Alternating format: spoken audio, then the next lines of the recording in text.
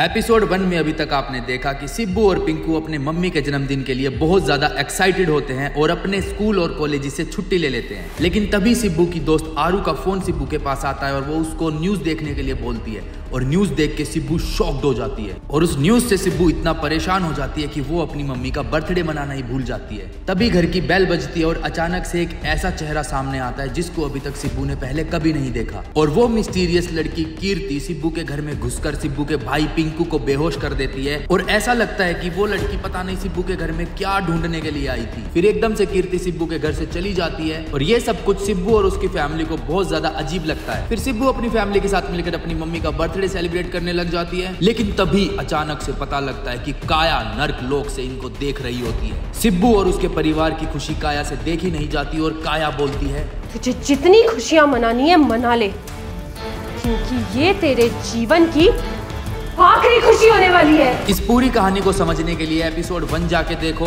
और अब देखते हैं कि आगे क्या होता है क्योंकि काया इज़ बैक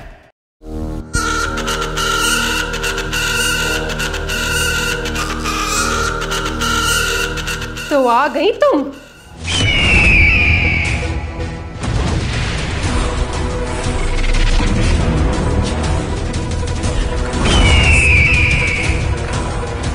हाँ काया दीदी मैं आ गई। लेकिन लेकिन ले, ले, लेकिन लेकिन क्या बोलो? लेकिन काया दीदी आपने मुझे जो उस लड़की के घर से लाने के लिए कहा था वो मुझे नहीं मिला। मैंने बहुत ढूंढा। उस लड़की का पूरा कमरा छान लिया लेकिन फिर भी मुझे नहीं मिला।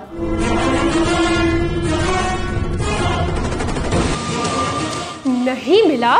तो तुम क्या यहाँ पे मुझे ये बताने आई हो? मुझे माफ़ करना दीदी। कीर्ति मेरी बात ध्यान से सुनो। तुम्हें चाहे पूरी दुनिया इधर की उधर क्यों ना करनी पड़ जाए। लेकिन वो तीन चीज़ें मुझे चाहिए। और वो तीन चीज़ें तुम मुझे लाके दोगी समझी? हाँ काया दीदी मुझे पता है कि वो तीन चीज़ें मुझे आपको ढूंढ कर देनी है। ये बात आप मुझे कई बार बता चुकी हैं लेकिन आपने मुझे कभी ये नहीं बताया कि आपको ये तीन चीज़ें चाहिए क्यों? कीर्ति! तुमसे जितना काम कहा गया है सिर्फ़ उतना करो। ज़्यादा सवाल मत पूछो। तुमने उन तीन चीज़ों में से अभी तक कुछ भी नहीं ढूंढा है। अगर तुम कोई एक भी चीज़ ढूंढ के ले आती हो तो मैं तुम्हें बता दूँगी कि मुझे वो चीज़ें क्यों चाहिए। अब जाओ यहाँ से। और जब तक तुम्हें वो मिल ना जाए, यहाँ वापस मत आना। जाओ यहाँ से। ठीक है, काया दीदी। मैं दोबारा कोशिश करती हूँ। और इस बार मेरी ही जीत होगी। क्योंकि ये कीर्ति कभी नहीं गिरती। I am always fly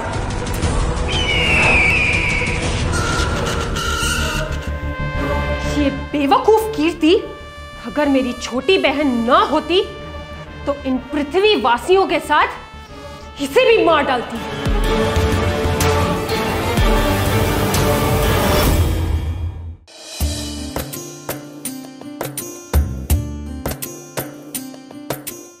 mummy एक बात पूछूँ?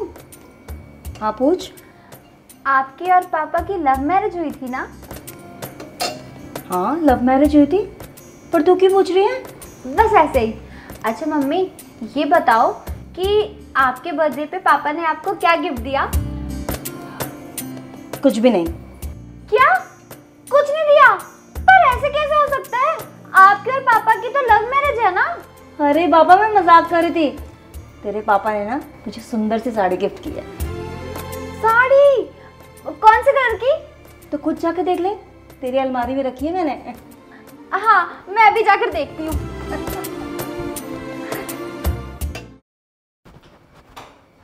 मम्मी आपने मेरी अलमारी खोली थी क्या? आई I मीन mean, कुछ ढूंढ रहे थे क्या? नहीं बेटा। हाँ मैंने तेरी अलमारी खोली थी और साड़ी रख दी। वो भी इसलिए कि जब तू अलमारी खोले ना तो सबसे पहले वो साड़ी दिख जाए। पर क्या हुआ? कुछ खो गया है क्या? नहीं मम्मी। कुछ खोया तो नहीं है। पर मेरी पूरी अलमारी इधर उधर हो रखी है। सारे कपड़े बिखरे पड़े हैं। अभी मैंने कल ही अपनी पूरी अलमारी समेटी थी। सारे कपड़े कल ही ढंग से लगाए थे। मम्मी, कहीं इस पिंकू ने तो हाँ वो ही छेड़ सकता है। जाके पूछ। बेटा, ये आँखें मत दिखाओ मुझे। समझ रहा है? तेरे इतने चांटे इतने चांटे मारूँगा। तेरा बहुत हो रहा है आजकल। थी क्या चुराया? सच बता मेरे पैसे? दीदी क्या बोल रही हो? चोरी वो भी मैं। राम राम राम। अबे ओ पिंकू के बच्चे अब ज़्यादा मुझे ना राम भक्त बन के मत दिखा। सच बता क्या चुराया? क्यों ना बनकर दिखाओ मैं राम भक्त? दीदी मैं राम भक्त हूँ। वैसे क्या हुआ दीदी? कुछ खो गया क्या आपका? नहीं कुछ खोया तो नहीं है।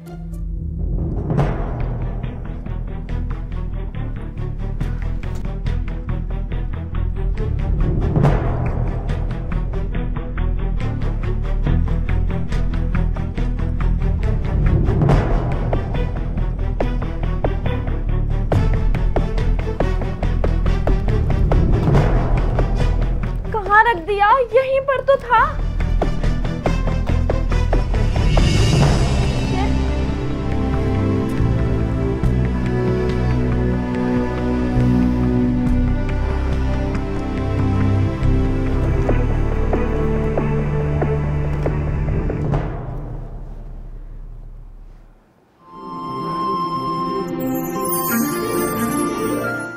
गॉड ये यहीं पर था। दीदी ये आपके हाथ में क्या है? कुछ नहीं है पिंकू। दीदी झूठ मत बोलो। मैंने अभी आपके हाथ में कुछ चमकता हुआ देखा है जो मेरे हाथ ही आपने छुपा लिया। दिखाओ मुझे। नहीं। दिखाते हो कि नहीं? नहीं। दिखाते हो कि नहीं? नहीं। मैं कहता हूँ दिखा दो। नहीं। पक्का नहीं दिखाओगी? नहीं। मम्मी! चुप चुप चुप चुप चुप चुप चुप हो जा पिंकू। भगवान के लिए चुप हो जा। पहले तू शांत हो जा मैं तुझे सब कुछ बताती हूँ। लेकिन पहले तू मेरे से प्रॉमिस कर कि जो मैं तुझे बताऊँगी वो बात सिर्फ़ और सिर्फ़ तेरे और मेरे बीच रहेगी। हम्म पक्का? हम्म, हाथ हटा दूँ मुँह से? हम्म, हटाऊं? हम्म। दीदी पहले दिखाओ तो क्या है? नहीं पहले तू प्रॉमिस कर कि तू किसी के साथ भी शेयर नहीं करेगा। ठीक है प्रॉमिस करता हूँ ये बात मैं किसी से शेयर नहीं करूँगा। अपने दोस्तों के साथ भी नहीं। ओके? मम्मी दादी पापा उनके साथ भी नहीं। ओके? अपने उस दोस्त बंटी से भी नहीं। ओ दीदी ये तो गलत बात है। वो मेरा बेस्ट फ्रेंड है। मेरे बचपन का लंगोटिया यार है। हाँ दीदी उसको भी नहीं बताऊँगा। प्रॉमिस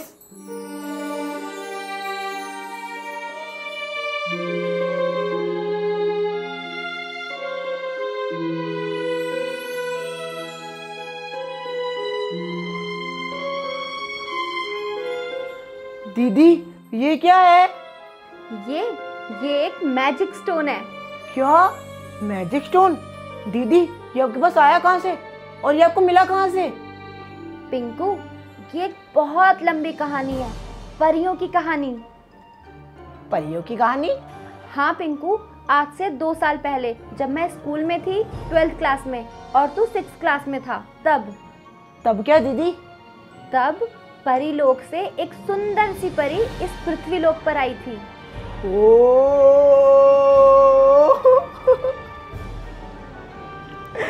दीदी अब मैं कोई छोटा बच्चा नहीं हूँ बड़ा हो गया हूँ। जहाँ पे मेरे को फालतू की परियों की स्टोरी सुना रही हो। अब सच सच बताओ आप कौन सा सीरियल देख के सोए थे? और मुझे तो लग रहा है कोई मैजिक वैजिक स्टोर नहीं है। आप ये कहीं से उठा के हो और मेरा पागल बना रही हो। देखा? देखा मुझे पता था कि मेरी बातों पे कोई भी ट्रस्ट नहीं करेगा। इसीलिए मैं किसी को भी नहीं बताती हूँ इसके बारे में। अरे दीदी आप ही बताना आपकी ये फालतू बातों पे कोई भी कैसे ट्रस्ट करेगा? बेटा कोई मेरी बातों पे ट्रस्ट करे या ना करे लेकिन अब तू ज़रूर करेगा।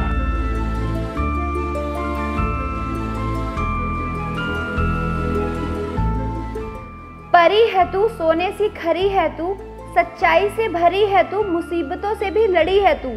मेरा भाई मुझ पर करे यकीन, इसलिए इसको कुत्ता बना दे तू।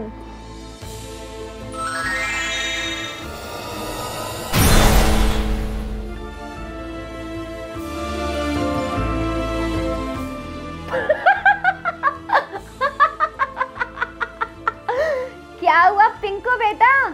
अब हुआ यकीन? अरे दीदी, आपने मेरे साथ क्या कर दिया? आप मेरे साथ ऐसा कैसे कर सकती हो? मैं तो आपका अपना सगा छोटा भाई हूँ ना। दीदी प्लीज़ मुझे ठीक कर दो प्लीज़ दीदी। हाँ हाँ ठीक है। कर रही हूँ ठीक तुझे। रुक जा। परी है तू, सोने सी खरी है तू। सच्चाई से भरी है तू, मुसीबतों से भी लड़ी है तू। मेरे भाई को हो गया है मुझ पर यकीन। इसको कुत्ते से मेरा भाई बना दे तू।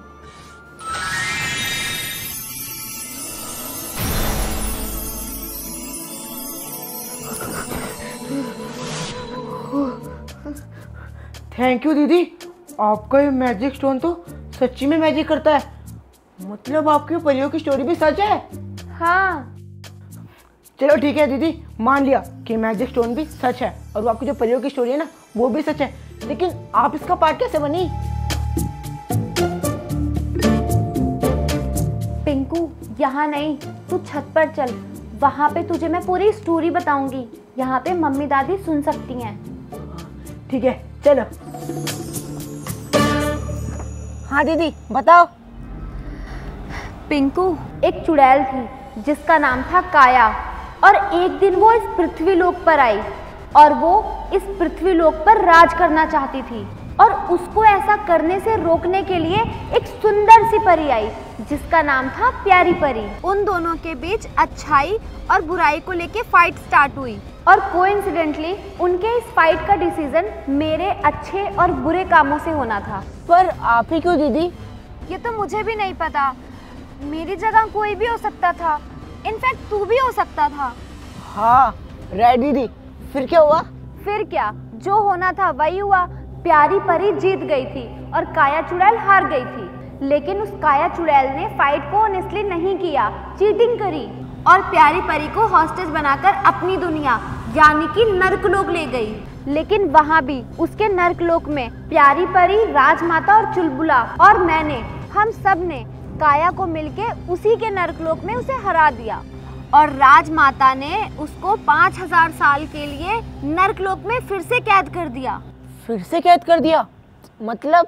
हाँ मे बी राजमाता ने उसको पहले भी हज़ार सालों के लिए कैद किया था। अच्छा दीदी फिर वो राजमाता चुलबुला और प्यारी परी वो सब कहाँ गए? अरे भाई वो अपने घर गए अपनी दुनिया में वापस। तो आपने उन्हें जाने क्यों दिया? रोका क्यों नहीं? अरे भाई तुझे समझाना मतलब भैंस के आगे बीन बजाना। तू एक काम कर मेरे YouTube पे प्यारी परी और काया की पूरी स्टोरी है। तू वहाँ जाकर देख ले। खुद देखेगा तो ज़्यादा अच्छे से समझेगा। और गाइज़ आप लोग, अगर आपको भी इस पूरी स्टोरी को समझना है तो एपिसोड वन टू थ्री और फोर जाकर देख लो। और जिन लोगों ने देख लिया है, वो मेरे साथ स्टोरी को कंटिन्यू करते हैं। दीदी, मुझे एक बात बताओ। अगर ये काया चुड़ैल फिर से वापस आ गई तो? पिंकू ये तू कैसी बातें कर रहा है? वो कैसे वापस आ सकती है? मैंने अभी तो तुझे बताया कि राजमाता प्यारी परी मैंने और चुलबुला हम सबने मिलके उसे उसी के नरकलोक में कैद कर दिया है। दीदी मेरे कहने का मतलब ये है कि अगर वो काया चुड़ैल एक हज़ार साल कैद होने के बाद भी वापस आ सकती है तो अभी भी तो आ सकती है ना वापस? नहीं ऐसा पॉसिबल नहीं है। दीदी फिर वो न्यूज़ जिसके लिए आप बहुत ज़्यादा परेशान थे हाँ पर तूने ही तो कहा था ना कि ये न्यूज़ वाले टीआरपी के लिए कुछ भी करते हैं ऐसा कुछ भी नहीं है। हाँ दीदी मैंने बोला था लेकिन तब वो मुझे बात नहीं बताती जो आपने मुझे अब बताई है। और दीदी आपको पिछले दो दिनों में कुछ अजीब नहीं लगा? अजीब मतलब? अजीब मतलब पहले वो न्यूज़ और फिर वो लड़की का आना जिसे हम जानते ही नहीं है लेकिन वो हम सबको जानती है और मेरा ऐसे सो जाना। और आपकी अलमारी इधर से उधर होना ये सब। हाँ पिंकू तू बोल तो बिल्कुल ठीक रहा है। ये सब तो मैंने सोचा ही नहीं। तो फिर अब हम क्या करें? दीदी करना क्या है? अपने दोस्त आरू को फ़ोन मिलाओ और उससे पूछो कि उस दिन वो खुद केक देने क्यों नहीं आई अपनी कज़न को क्यों भेजा? क्योंकि मुझे उस कीर्ति पे डाउट हो रहा है। मैं ऐसे सो कैसे सकता हूँ? वो बहुत अजीब था। हाँ रुक मैं भी करती हूँ।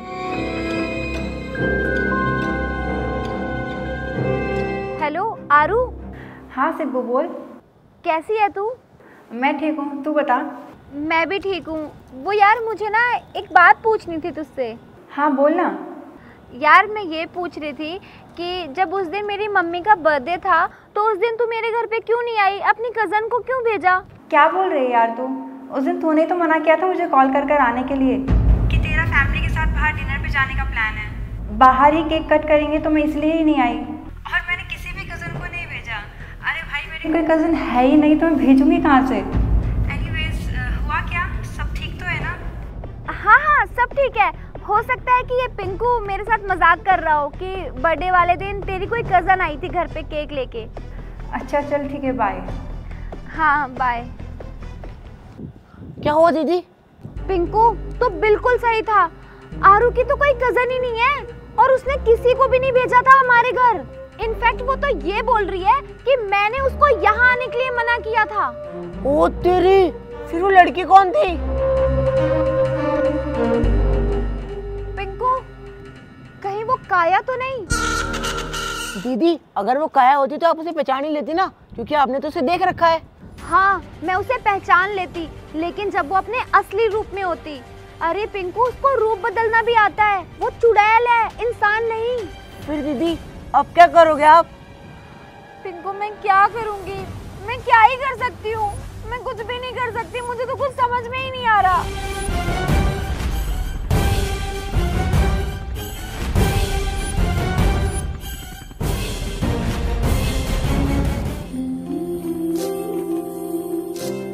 हाँ याद आया। कर सकती हूँ मैं, पिंकू। बहुत कुछ कर सकती हूँ। तू ये देख। मैजिक स्टोन मुझे प्यारी परी ने दिया था और बोला था कि इस मैजिक स्टोन के थ्रू मैं उनको कभी भी जब भी सच्चे मन से याद करूँगी तो वो मेरे पास आ जाएँगी। हाँ तो दीदी आप सोच के रही हो? बुलाओ ना प्यारी परी को। मुझे उन्हें देखना है। मिलना है मुझे उनसे। हाँ पिंकू अभी बुलाती हूँ। परी है तू सोने सी खरी है तू। सच्चाई से भरी है तू मुश्किलों से भी लड़ी है तू। मैं आज एक मुसीबत में हूँ और मैंने तुझे सच्चे मन से याद किया है। मेरे सामने आ जाना तू।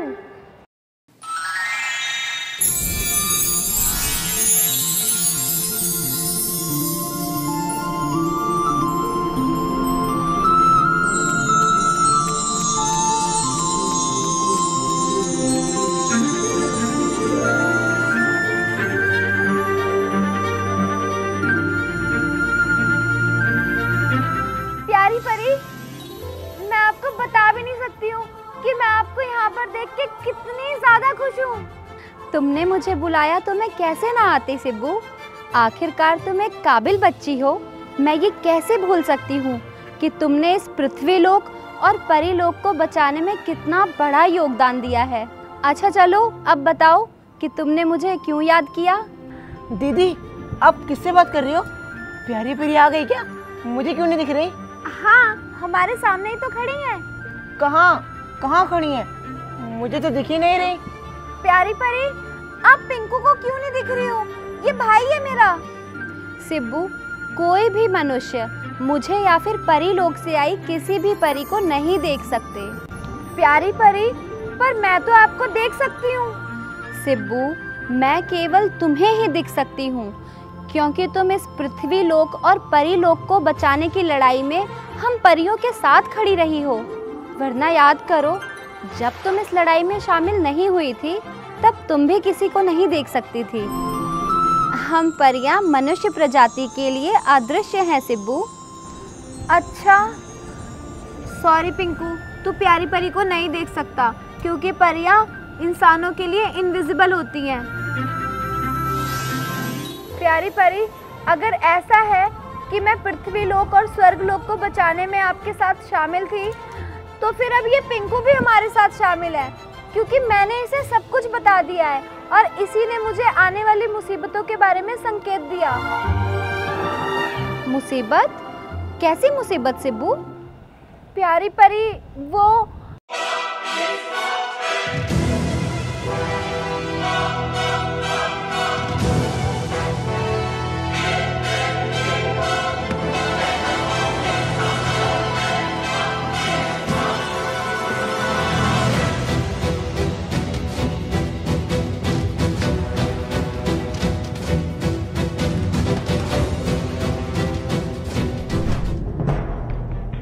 सिब्बू, जैसा मुझे तुमने बताया, उसे सुनकर तो किसी संकट का आभास होता है। हाँ प्यारी परी, बस इसीलिए मैंने आपको बुलाया।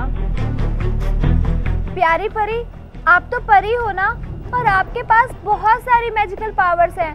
तो आप उन पावर से पता करो ना कि वो कीर्ति नाम की लड़की कौन थी, और मेरे घर पे क्यों आई थी?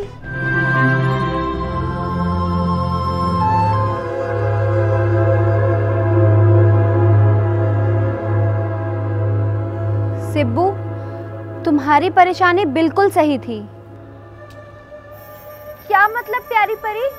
वो काया ही थी। नहीं सिब्बू, वो काया नहीं थी। वो काया की छोटी बहन कीर्ति थी। और वो यहाँ पर तुम्हारा अनोखा पत्थर लेने आई थी। आपका मतलब है कि ये मैजिकल स्टोन पर वो इसको लेने क्यों आई थी? ये तो आपने मुझे दिया था ना? हाँ सिब्बू, यह मैंने तुम्हें ही दिया है। और यह पत्थर हमारे परिलोक का एक अनोखा पत्थर है। जितनी शक्ति एक परी में होती है, उतनी ही शक्ति इस अनोखे पत्थर में भी होती है। फिर ये उस काया की बहन को क्यों चाहिए, प्यारी परी? अब ये तो मुझे भी नहीं पता, सिब्बू। और अब ये पता करने के लिए मुझे परिलोक वापस जाना होगा। और उसके पश्चात मुझे परिलोक में एक परियों की सभा बुलानी पड़ेगी। और तभी मुझे ज्ञात होगा कि यह अनोखा पत्थर उसे क्यों चाहिए? ठीक है प्यारी परी। बाय क्या?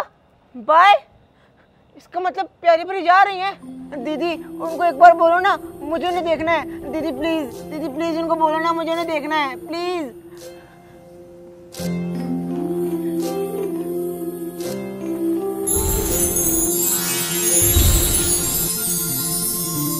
और बताओ कैसे हो पिंकू?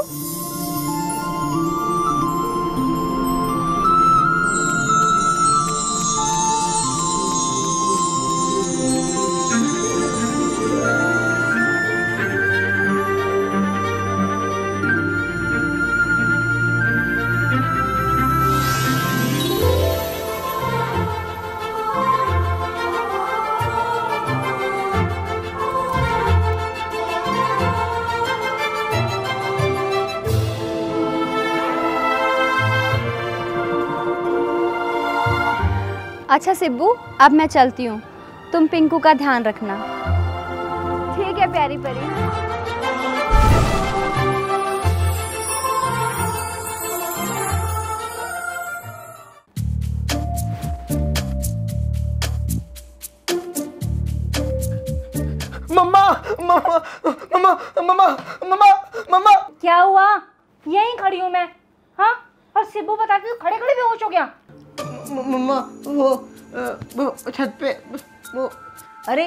है तुझे? जरा सा भी सबर नहीं होता? देख रही पिंकू कितना घबराया हुआ है? ठीक से बच्चों का खाने का ध्यान तो रखती नहीं है। और बढ़िया ही पूछने के लिए, बेटा, क्या हो गया तेरे को? अरे भाई, चक्कर आ गए, बेहोश हो गया। बच्चों का खाने पीने का ख्याल रखा कर बाहर देख रही है कितनी धूप पड़ती है, कितनी गर्मी है। बाहर इतनी गर्मी पड़ रही है ना कि अगर कोई घर से बाहर निकल जाए ना तो झुलस के वहीं मर जाए। मम्मी जी, इस वक्त कौन सी धूप निकल रही है? ये ना रात को गया था छत में ना कि दिन में। और वैसे भी ना मैं अपने बच्चों का अच्छे से ख्याल रखती हूँ क्या खाते हैं क्या नहीं खाते। उसकी टेंशन आप मत लो। अच्छा बेटा तू बता क्या हुआ हाँ? कोई भूत भूत देख लिया क्या छत पे? वो वो मम्मी इसने ना छत पे छिपकली देख ली थी। छिपकली इतनी सी बात। अरे इतनी छोटी सी छिपकली से डर गया तू। भला छिपकली से को डरता है? इतनी सी तो जान होती है बेचारी की। अच्छा हाथ दिखाओ अपना। क्यों मेरी भाग्य रेखा देखेगा क्या? ले।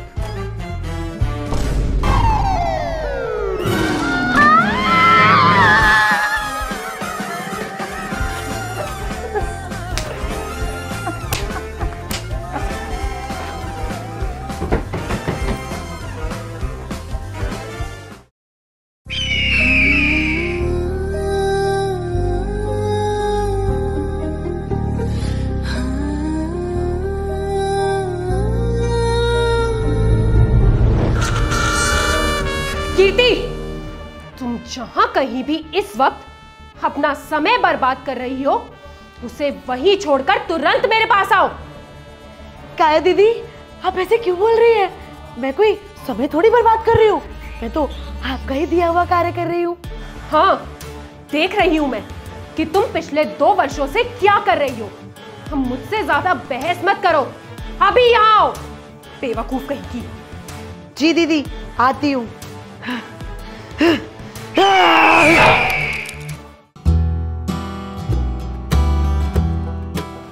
भाई पिंकू दो दिन हो गए हैं और प्यारी परी हमसे मिलने आने वाली थी और वो अभी तक नहीं आई। कहीं वो किसी मुसीबत में तो नहीं? हाँ सिब्बू मैं मुसीबत में हूँ। हम सब फिर से एक बार मुसीबत में हैं। बात क्या है प्यारी परी? हाँ प्यारी परी। बताओ ना क्या बात है? सिब्बू पिंकू काया की बहन कीर्ति इस पृथ्वी लोक पर तुम्हारे घर परीलोक का अनोखा पत्थर लेने आई थी ताकि वह अपनी बहन काया को उस नर्क लोक से आज़ाद कर सके। क्या? हाँ सिब्बू और सिर्फ़ परीलोक का अनोखा पत्थर ही नहीं इसके अलावा वो दो चीज़ें और ढूंढ रही है जिसमें से एक है दिव्य तलवार और दूसरा है अप्सरा पुष्प।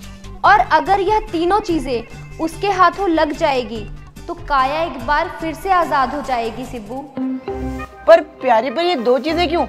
हम तो सिर्फ़ मैजिकल स्टोन की पावर के बारे में जानते हैं। ये तलवार और ये फूल काय के किस काम का? पिंकू वह दिव्य तलवार कोई मामूली तलवार नहीं है।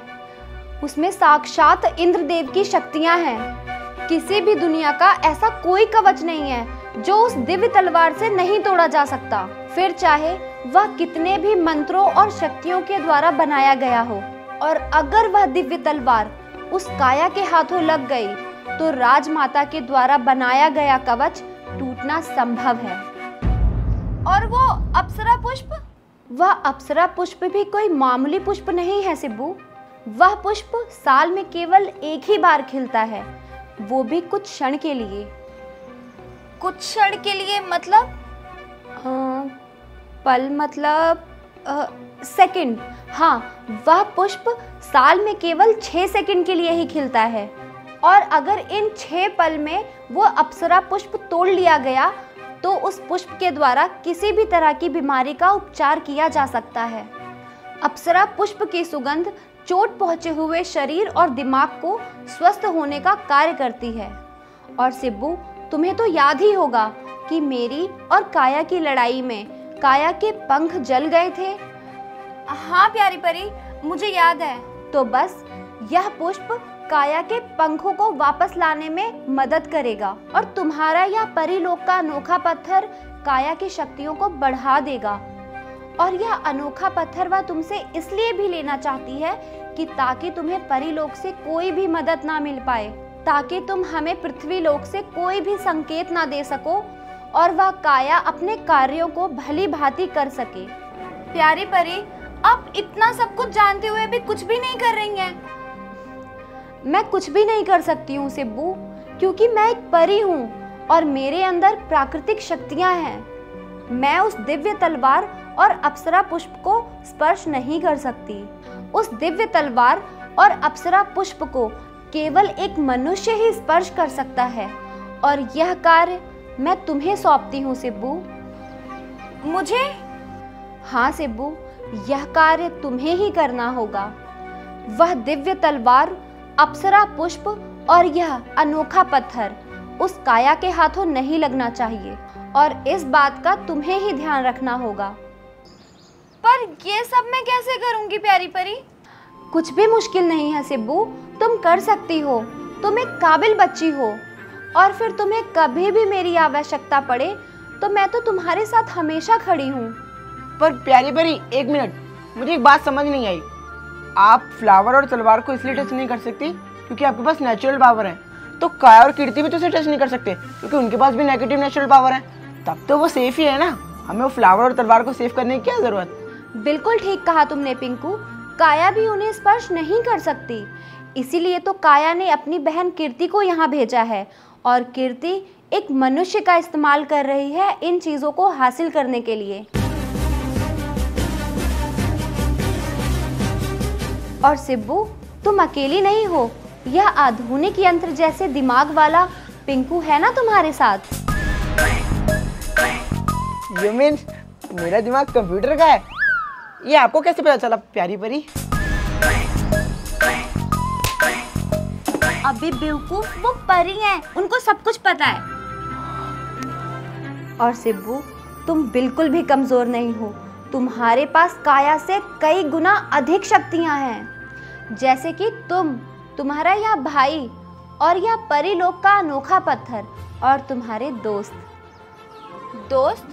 पर प्यारी परी मेरा तो ऐसा कोई भी दोस्त नहीं है जिसको मैं अपने इस मिशन में इन्वॉल्व कर सकूँ। हैं सिब्बू तुम्हारे सच्चे और अच्छे दोस्त भी हैं। तुम अपनी आँखें बंद करो और देखो कि तुम्हें क्या दिखता है।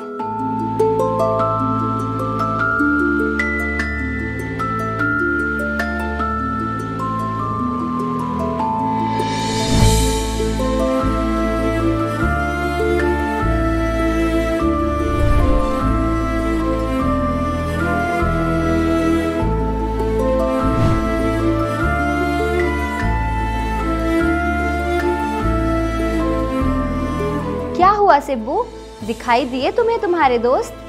हाँ प्यारी परी, पर ये कैसे? जाओ सिब्बू, अपने इस लक्ष्य में इन सभी को शामिल करो।